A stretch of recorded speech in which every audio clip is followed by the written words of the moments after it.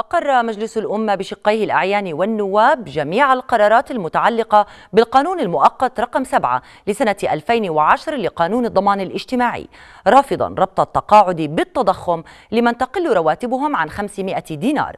جاء ذلك خلال جلسة مشتركة عقدها المجلس اليوم لمناقشة القانون وسط أجواء من الفوضى بعد انسحاب نحو 60 نائبا من الجلسة المشتركة وذلك احتجاجا على إدارة الجلسة والتصويت.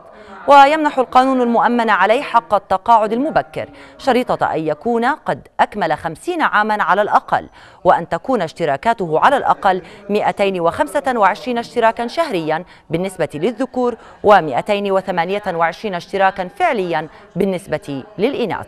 كما يتضمن تعديلات خاصة بالتقاعد المبكر والحد الأدنى والأقصى لزيادة الإعالة إضافة إلى السماح للمتقاعد المبكر بالجمع ما بين جزء من راتبه التقاعدي وأجره من العمل في حال عودته إليه ومعادلة احتساب راتب الوفاة الطبيعية وتأمينات الأمومة والتعطل عن العمل والتأمين الصحي وإدراج الضمان تحت مظلة ديوان الخدمة المدنية.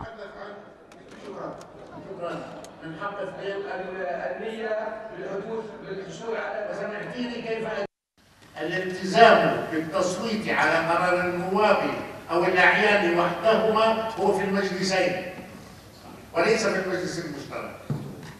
عندما يعاد من مجلس الأعيان للنواب ليس من حق النواب أن يبحثوا إلا باصرار على قرارهم أو قبول قرار مجلس الاعيان وعندما يعود إلى مجلس الأعيان ليس من حقه أن يبحث إلا بقبول قرار النواب أو الإصرار على قراره. أما عندما ينتقل المجلسان الدستور لا يلغي ولا يتحدث بجمل عبثا. لو أراد أن يقول ليجري التصويت لاستبدل ذلك بكلمة واحدة. قال للبحث البحث يعني الحوار والنقاش والاقتراح. وبعكس ذلك يكون هذا الاجتماع لا معنى له. يعني بإمكاننا أن نعد الأسماء